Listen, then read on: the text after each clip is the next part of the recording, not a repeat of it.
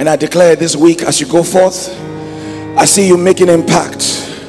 I see you this second half of the year doing far more than you did in the first half of the year. In fact, you will so excel, you will so increase that in one month you will achieve all you achieved in the last 10 years. In the name of the Lord Jesus Christ, I see you advancing without restriction.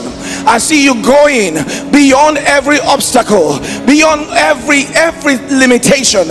In the name of Jesus, I see your children prospering. I see your business prospering. I see you prospering in your health, prospering in your family, prospering in your business. In the name of the Lord Jesus Christ no downward slide upward and forward upward and forward upward and forward.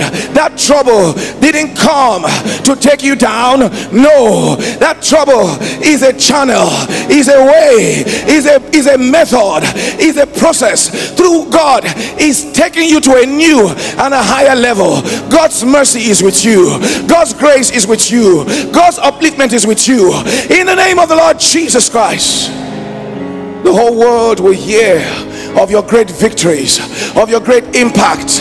Yes, of your great impact.